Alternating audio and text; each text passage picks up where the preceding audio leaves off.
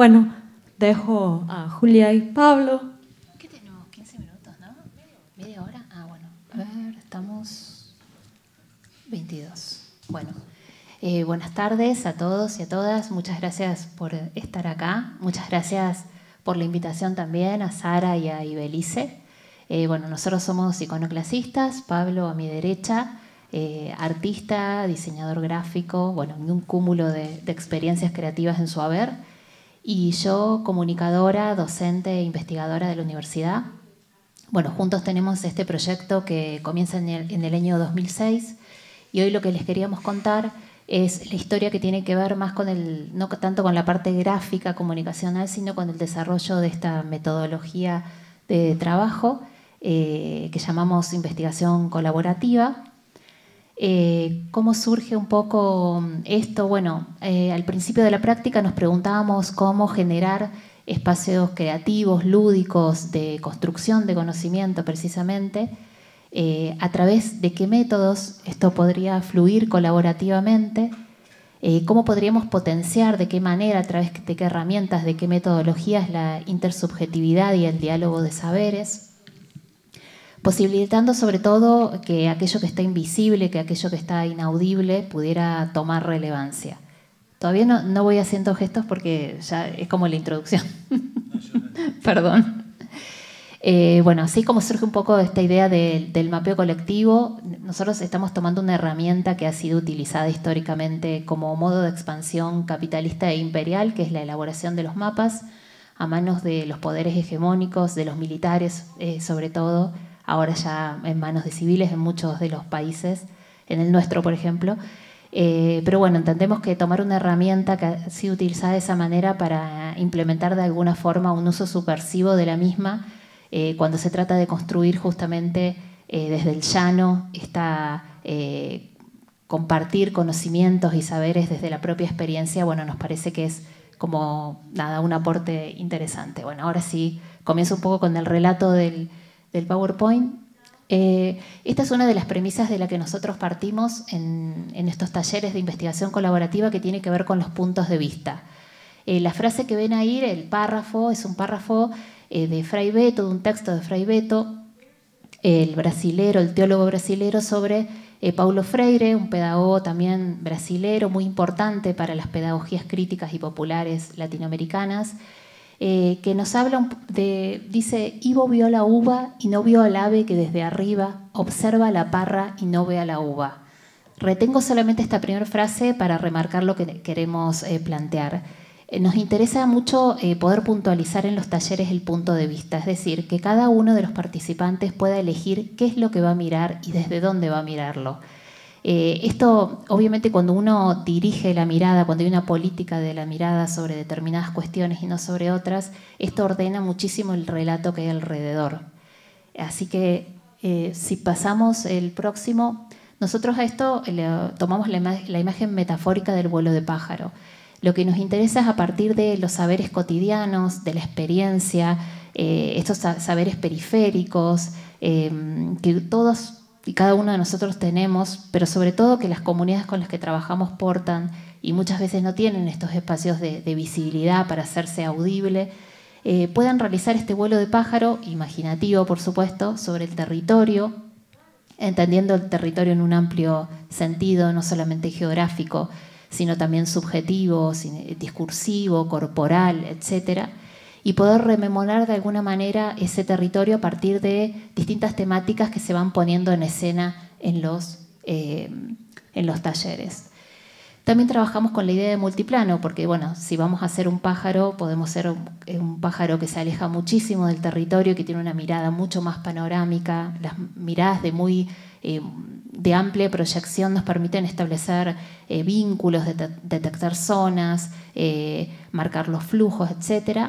E ir escalando hasta llegar a, la, mirada más cercana, al contacto uno, lo que sería la escala uno a uno, hablando en términos de, cartografía, que es el cuerpo directamente sobre el territorio y que tiene que ver mucho con lo que movilizan los sentidos puestos a reflexionar en la construcción de conocimiento. Eh, el objetivo de los talleres, además de, generar este espacio dialógico de saberes no solamente de la experiencia del cuerpo, sino también saberes teóricos, saberes doctos. es que estos, este diálogo intersubjetivo se puede realizar en un espacio horizontal donde no haya saberes que tengan más legitimidad que otros, pero sí que todos puedan ponerse en escena y puedan dialogar. Con el objetivo justamente de, a partir de eh, la construcción de distintos puntos de consenso, se pueda llegar a un relato colectivo eh, sobre el territorio y fundamentalmente un relato crítico, un relato transformador. Nosotros pensamos a los talleres como espacios tácticos, eh, es decir, que cuando nosotros generalmente nos convocan a realizar un taller, instancias muy diferentes desde una institución, eh, hemos trabajado en museos, hemos trabajado en la universidad, hemos trabajado mucho en barrios, en bachilleratos populares, que son escuelas pedagógicas de los movimientos sociales, en ámbitos rurales, en ámbitos urbanos, etc. Eh, pero siempre las preguntas son las mismas, ¿no? Eh, bueno, ¿para qué quieren hacer el taller? ¿Con quiénes quieren hacer el taller? ¿Durante cuánto tiempo? cuál va a ser el objetivo de este taller y qué, se va a hacer con el material. ¿no? Todas estas premisas nos sirven a nosotros para poder organizar previamente la cajita de herramientas con las cuales vamos a llegar al taller para poder eh, activar, digamos, junto con los organizadores, ese espacio de socialización de saberes. El trabajo tiene varias, eh, en el taller tiene varias partes, pero dos partes fundamentales. Una es el trabajo en grupos, a partir de distintas recursos, metodologías, eh, utilizamos muchas dinámicas eh, de la educación popular también, de la educación artística, eh, dinámicas de sensibilización del territorio, bueno, de romper el hielo, de generar espacios de diálogo, de confianza, etc. Y a través de distintos, distintos tipos de recursos, que bueno, ya les voy a ir mostrando cuáles son. bueno, unos de estos son eh, la, iconografía, la pictogramación que nosotros eh, diseñamos en un principio para los talleres. Eso hizo que tuviéramos un acervo eh, de imágenes muy grandes que fueron, son compartidas en nuestro sitio web, que es iconoclasistas.net. Ahí se comparte todo el material pero que en la instancia de los últimos dos años ya directamente los talleres se diseñan junto a los participantes. Así que la iconografía esta también es diseñada paralelamente con, con, las personas que asisten al taller. Y la segunda parte grande del taller tiene que ver con el plenario, la asamblea, en donde se pone en común y se discute lo que se trabajó en cada una de, estos, de estas instancias de trabajo colaborativo. Esta es una parte muy importante del trabajo porque cuando eh, digamos, estamos rodeados por este marco de objetivos de trabajo, siempre en la instancia plenaria se intenta ir hacia ese horizonte. ¿no? Si se pensó, por ejemplo, que el trabajo era, tenía que ver con la construcción de cierto conocimiento eh, sobre determinada temática territorial para la elaboración de un desplegable, de un póster, por ejemplo, que funcionaría como insumo pedagógico. Bueno, la idea es trabajar ahí qué temas surgieron, cuáles son los más importantes, a través de qué imagen gráfica lo vamos a comunicar, cuál podría ser un título, qué partes tendría que tener. Bueno, todo ese tipo de cosas se discuten eh, colectivamente en esta instancia que es muy importante para nosotros. Les decía que para estos talleres nosotros entendemos la práctica, el, mapeo como una práctica. Cuando decimos mapeo, entendemos esta práctica del vuelo de pájaro, pero no nos basamos solo en mapas, sino que también realizamos, por ejemplo, este tipo de, trabajos, de derivas eh, urbanas con los participantes, eh, a través de también ejercicios sensoriales, tomando fotos, dialogando con la gente, haciendo entrevistas. Em, por supuesto, mesas, eh, mapas, mesas de mapas en el espacio público. ¿Qué más tenemos? líneas de tiempo, la parte, la dimensión temporal es muy importante para que dialogue también con la parte territorial más geográfica. Bueno, y por supuesto la cuestión del, cuerpo. Para nosotros el trabajo sobre las corporalidades como territorio primero y último es, fundamental. Cada uno de estos espacios eh, colabora en dar información que complementa aún más esta cuestión de los objetivos que les comentaba, pero da información muy diferente, eh, eh, muy enfocada desde distintos puntos de vista y esto es lo que nos parece potente en este sentido. Mí me toca la parte de las anécdotas. Así que voy a empezar, empezamos con esta frase de escala 1 a 1 de un, cuento de Borges que se llama El rigor de la ciencia, que habla de una provincia china que los geógrafos eran tan especialistas que terminaron haciendo un mapa uno a uno, uno y para desplegarlo tenían que desplazar las poblaciones. Esta idea es de, pensarnos a nosotros cuando trabajamos en el territorio en esa dimensión, en la dimensión uno a uno, ¿no? performática. Y aquí vamos, voy contando anécdotas. Este es un trabajo en Barcelona, se ve así, trabajamos en el MACBA, en el PEI, eh, eh, con Marcelo Espósito y Beatriz Preciado, eh, antes de las elecciones de En Común y formamos a, los militantes de En Común para que ellos hagan en cada barrio un mapeo colectivo trabajando en la campaña, ¿no? que después llevó a Ada Colau a, la, Intendencia de Barcelona. Eh, y los formamos para que ellos armen la campaña política en eso. Este es un trabajo en Santiago, en el Museo de la Solidaridad Salvador Allende, nos hicieron un, carrito, ellos querían que nosotros trabajemos distintas instancias en un barrio pequeño, barrio La República, para ir viendo las problemáticas que hay en ese barrio, que es un barrio muy estudiantil, pero también muy tradicional y, lleno de historias, porque eh, hay, hay, como un triángulo de las Bermudas, el compañero lo puede explicar bien, que funcionaba la DINA, que era la agencia de inteligencia durante la dictadura eh, de Pinochet. Eh, bueno, y entonces trabajamos esas memorias en distintas situaciones en el carrito, que tenía enchufe, podíamos poner música y acercábamos. Entonces trabajamos niñez, trabajamos vecindad, trabajamos eh, muchos mapitas que fueron ah, contando una historia de los vecinos y vecines en el territorio.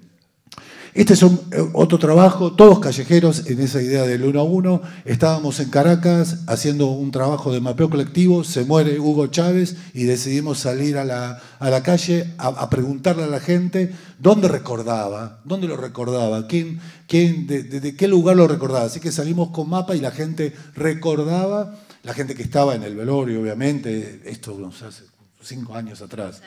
Pero que fue muy emotivo porque lo improvisamos sobre la marcha. Este es un trabajo en Belo Horizonte, trabajamos con arquitectos la, en la problemática de la gentrificación de la ciudad, de los cambios de especulación inmobiliaria.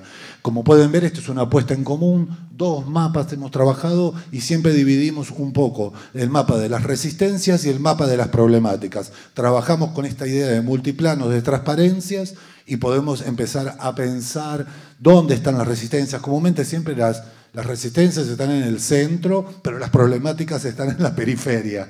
Eh, así que empezamos a pensar en, esos, en esas ideas. Aquí, miren, justo en Playa Ancha, tenemos ahí donde, donde trabaja el compañero. Este es un trabajo que hicimos en Playa Ancha, en, Valparaíso. Eh, como pueden ver, eh, es un trabajo sobre la espacio, resistencias y cuerpo. Bueno, y ahí pueden ver que se han usado eh, iconografía armada, y este es un trabajo que hicimos eh, una tarde en, un centro cultural de Playa Ancha, que ahora no me acuerdo el nombre, de los que arman las, batucadas del candombe. Eh, vamos a otro, bueno, este es un mapeo del barrio universitario que trabajamos en la calle anteriormente sobre, la, sobre Santiago. bueno, este es el trabajo que, bueno, y así tenemos cientos de talleres porque son 11 eh, años. Este es el taller de ayer que hicimos aquí, hicimos dos días de taller en la universidad. Y bueno, y trabajamos eh, en un sistema que estamos haciendo eh, últimamente, que lo llamamos como mapeo holístico. No tiene un nombre, o máquinas de pensar, todavía no tenemos un nombre muy claro por dónde va, y donde trabajamos cuerpo, espacio, tiempo, territorio.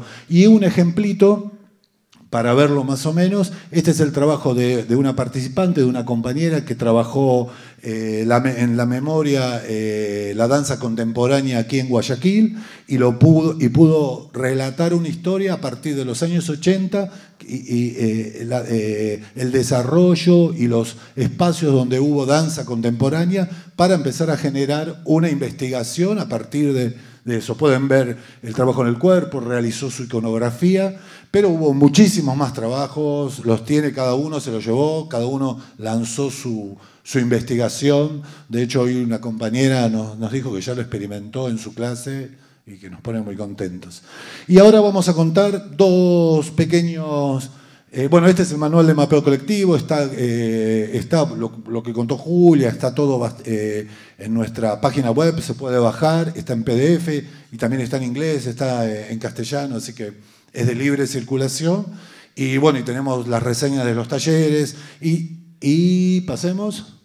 Eh, mapas sistematizados. Vamos a contar dos historias y en esta idea de. Hemos hecho mapeos en esto que decía de vuelo de pájaros muy largos sobre problemáticas ambientales, eh, sojización, megaminería en Argentina y en otros lugares, pero vamos a contar dos, dos trabajos eh, en barrios, en pequeños territorios. ¿no? Uno en Buenos Aires que es eh, en el barrio de los chamberos, nosotros le llamamos cirujas, es el barrio donde se recicla la basura, es un tema que salió eh, en la ponencia anterior. Eh, gente que llegan los camiones de basura de la ciudad, hay mafias, es muy complicado y, y reciclan la basura para que entre de vuelta al, mercado. ¿no? Eh, no pudimos trabajar tranquilamente sentados, porque hay gente que trabaja seis horas entre medio de la basura, no tiene ganas de empezar a decir, ay, qué lindo, hagamos un mapeo colectivo, hagamos una asamblea, no tienen ganas. Así que tuvimos que ir muchas veces al lugar donde trabajan los chamberos, que es un lugar horripilante, lleno de ratas. eh, para empezar a hablar con ellos, tomar mate, contar, hablar. En este trabajo estuvimos apoyados por la Universidad de San Martín, que es una serie de universidades en, el conurbano de la ciudad de Buenos Aires, que tiene casi 16 millones de personas, que, que se abrieron eh, eh, eh, a partir del año 2006. Se abrieron muchas universidades muy interesantes y que tienen mucha extensión territorial sobre los barrios y tienen legitimidad. O sea, uno va en nombre de la universidad y, aunque están cansados la gente de los barrios que vayan a, a hacer papers, a investigar y después no les llega nada a ellos, nosotros fuimos con esa legitimidad que nos daba la universidad, con un compañero que era eh, el, encargado de la extensión territorial y logramos hacer un trabajo, ellos nos pidieron un trabajo que se llamó la República de los Cirujas, cirujas por cirujanos, en, argot, en, en- en- sí, lunfardo, le decimos nosotros, que es la República de los Chamberos. Y bueno, y, contamos esta historia a partir de- del trabajo. Eh, Trabajamos cómo ellos trabajan, qué, nombre tienen las herramientas que usan, porque los vemos trabajando, qué posturas corporales, por qué hacen, a qué horas salen. Fuimos investigando cada cosa para darle valor, porque el problema es que ellos cuando venden lo reciclado no van eh, directamente a la, la cervecera más importante de Argentina a comprarles el vidrio o el plástico, eh, el plástico. Van intermediarios, entonces no tienen la misma ganancia y siempre va algún algún ministro a decirle, nosotros los vamos a sacar de esto y vamos a hacer fábricas para todos, cuando son tercera generación de, chameros. Eh, bueno, eh, hicimos una línea de tiempo, pusimos a un niño, nosotros siempre manejamos un lenguaje popular, aparte no era para... Terminó en algunos museos, pero no era para museos, era para trabajar en el barrio y para que ellos lo puedan eh, presentarlos en escuelas.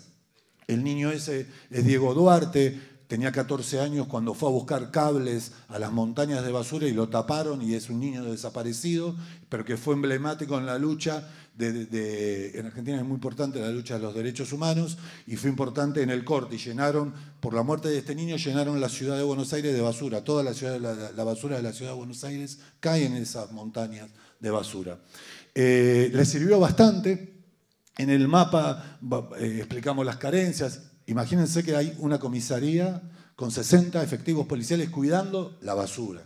O sea, el negocio de la basura es bastante importante. Trabajamos, son todas cooperativas o asociaciones civiles eh, eh, que las llevan adelante comúnmente mujeres, en su mayoría. Y trabajamos también en la, en la cárcel, que hay una cárcel, además, si esto fuera poco, hay una cárcel de alta seguridad que trabajamos ahí, que la Universidad de Buenos Aires tiene la carrera de sociología, en el único lugar de, Argentina que hay sociología en la cárcel. Los presos comúnmente estudian abogacía, por razones obvias, pero trabajamos con, eh, los sociólogos que estudian los guardiacárceles y los presos estudian juntos. Es una experiencia bien interesante. Eh, bueno, y aquí está un poco el mapa. El, mapa. el mapa sirvió para... Los burócratas les encantan los mapas. Aman los mapas los burócratas. Uno va con un mapa y dice, ah, es verdad, este, esto, esto es verdad. Tortas, eh, gráficos, todo eso va, uno va al municipio y, les encantan los mapas y puede llegar a ganar el dinero, pero hay que ir con mapas. Eh, entonces lo que lograron fue, le iban a construir, es un barrio picante, hay mucha droga, tiros, barrio interesante, un barrio duro, eh, y le iban a poner un gran centro en estas cosas así, mega gigantes que hacen, un centro de rehabilitación de drogas y fueron con el mapa a, la Secretaría de, Adicciones, todo eso, y dijeron, no, mira, nosotros tenemos una radio hace 30 años, un jardín de infante hace 20, bueno, tenemos un montón de organizaciones, con lo que necesitamos es tener la plata nosotros, que estamos trabajando. Y lograron eh, conseguir, a partir del mapa, lograron eso.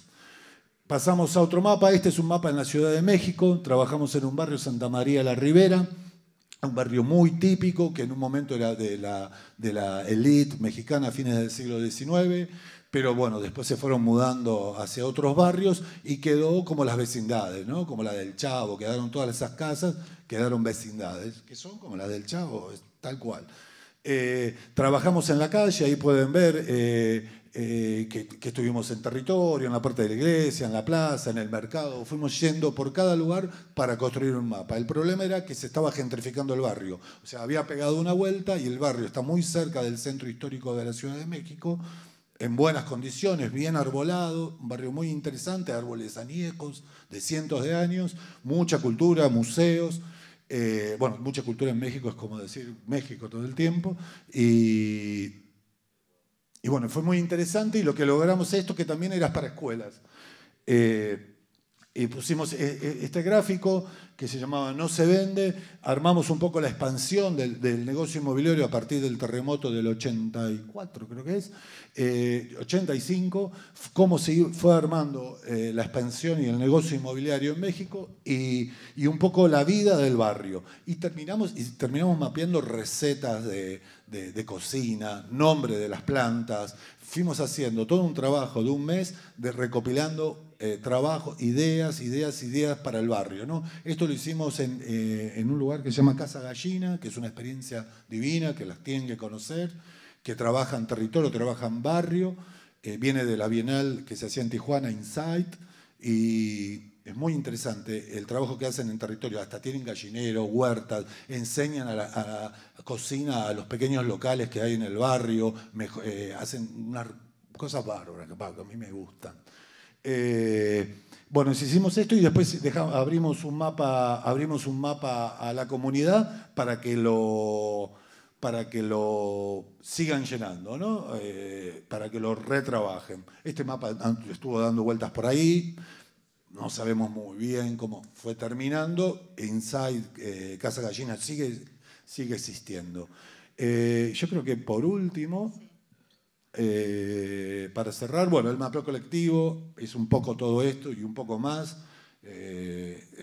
no hacemos siempre mapas, terminamos con mapas cuando hacemos un mapeo, comúnmente hacemos mapeos de formación, como hicimos estos días, o sea, para que conozcan las herramientas y para que las puedan utilizar para crear y derivarlas, que es lo como nos enriquecemos nosotros también, derivando, aprendiendo.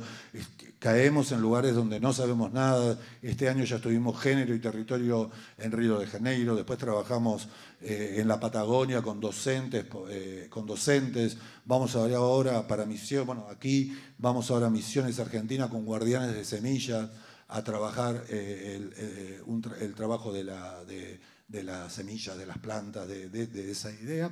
Bueno, y, siempre caemos con antropólogos, con arquitectos, que son los que más invaden, nos invaden los talleres, eh, y artistas, y un montón de, gente que aprendemos muchísimo y nos enriquece mucho. Y bueno, y por último tenemos este mapa que está acá abajo, que cuando terminemos tenemos algunos para repartir gratuitamente. Este es un mapa que no hicimos colectivamente porque no pudimos estar con todas las campesinas del mundo, pero a partir de un trabajo que, empezamos a pensar, eh, nos dimos cuenta, viendo algunos números, que 1.700 millones de mujeres son campesinas todavía que son las que guardan las semillas, son las que guardan la cultura, son las que enseñan a hablar las 7.000 lenguas que todavía eh, existen en el mundo eh, y que a partir, y, esto lo que nos llevó a hacer este mapa, que en 2007 se cambia la proporción de, de rurales, de población rural a población urbana. Eh, por primera vez en la historia de la humanidad hay más población urbana que población, que población rural. Nos, nos pareció muy fuerte esa fecha, la situamos en, en las mujeres, en las productoras de alimento y productoras de vida, y bueno, es una foto del 2007 hasta ahora, no, no, intenta, no, puede, no mira al futuro, pero sí deja testimonio de lo que es eh, un poco lo que vimos del mundo. Así que esto nada más. Muchas gracias.